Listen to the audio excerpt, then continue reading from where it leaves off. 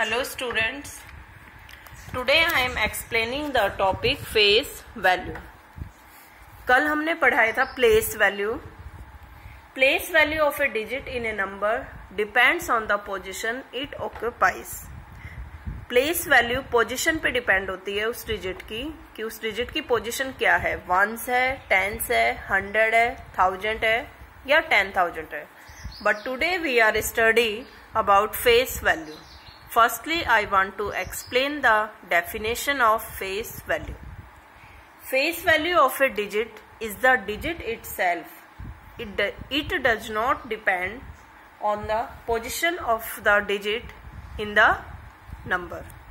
Means face value किसी भी digit की जब हम निकालते हैं तो वो डिजिट ही होती है फेस वैल्यू पोजीशन पे डिपेंड नहीं करती so students always remember that face value जब भी हम निकालें तो पोजिशन को नहीं देखते। Yes now our question is right the face value of each digit in given number और नंबर है हमारा seventy six thousand one hundred twenty five yes सबसे पहले हम मेंशन कर देंगे ones tens hundred thousand ten thousand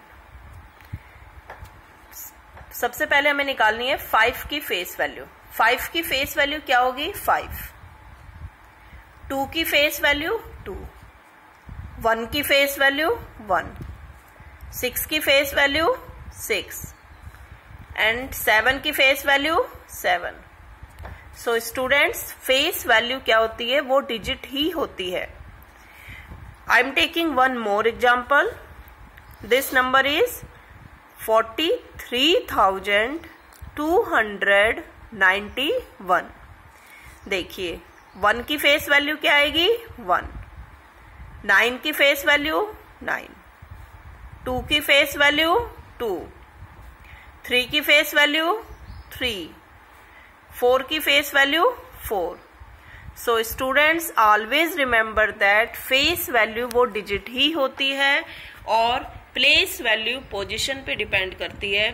thank you